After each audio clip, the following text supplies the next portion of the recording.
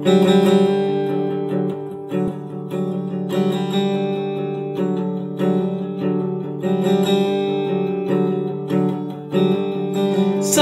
who likes to eat cake with me. Someone who likes to frown. Someone to tell me I'm in love with me. Someone who likes to get down.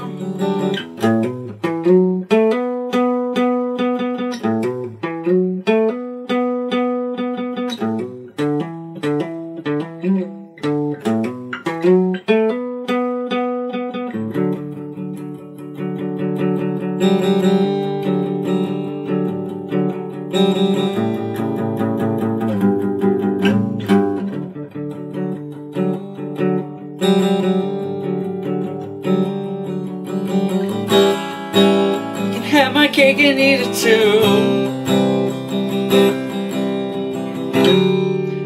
Or how I trade my peace for you.